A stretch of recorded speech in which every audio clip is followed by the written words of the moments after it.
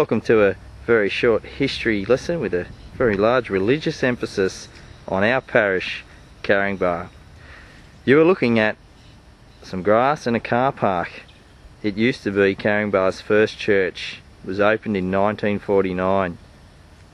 It's no longer a church, which you can see because like there's no building here.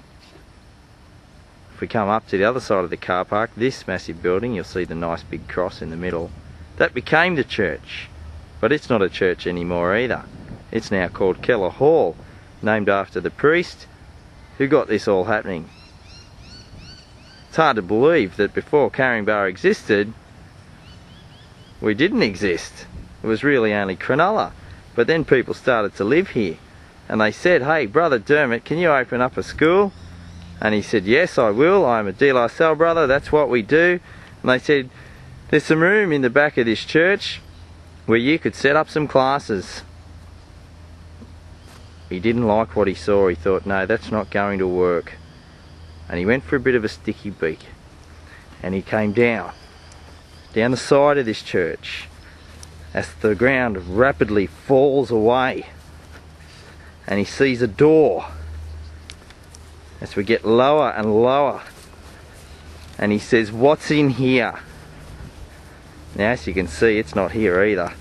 But this, this little area is what was underneath the church. And there was enough room in there for De La Salle College to begin. This is Yarn. Yarn is in year 10 at De La Salle College, Caringbah in 2008, exactly 50 years after Brother Dermot walked through this little gap which is the doorway to the dungeon. Yarn came here in primary school when it was Our Lady of Fatima Primary, which it still is today. And he was taught in this big building, which isn't here anymore, which was called, the, they affectionately called the whole building after Brother Dermot's efforts, the dungeon. Because that became the church, remember? Yarn's going to tell us how special it made him feel to be taught in a building knowing that Brother Dermot started De La Salle College Caringbah right below where he started his education. It feels very special. Thanks, Jan. This class took place inside this tiny room called the dungeon, but soon they would outgrow it and they would have to leave. Leave, Jan, leave. Lean, yeah, that tree wasn't there back then. And Jan goes from the dungeon and he's now heading towards the place. No, you head, yeah, now he's going to turn the corner and head towards the place where De La Salle College Caringbah would grow. And so they leave the dungeon behind them. Hey Jan, don't you think this would be a great place to build De La? Yeah. Correct. And that's what they did. It's so big you can't even fit it onto the screen.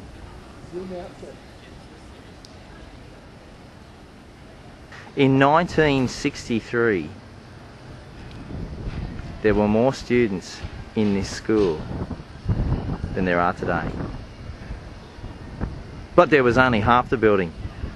They built this massive building in two halves. Those of you may have noticed that right in the middle, which we'll show you later, there is a clear join from the two buildings. And then in 1964, they built the rest. And De La Salle College was complete. We're now standing on the top floor of the main building and we can see the new church, the third church of Our Lady of Fatima Parish. And we can also cast our eye inwards and we can see this join that we're talking about all the way. Wow. Did you know that? Well, you do now. On the middle floor, and we can see the join. And here is the foundation stone. And you'll see that this school was solemnly blessed on this very day.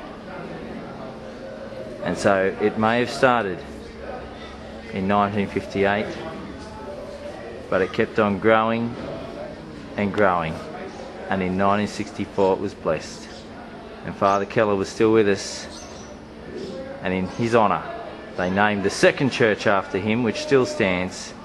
They call it Keller Hall.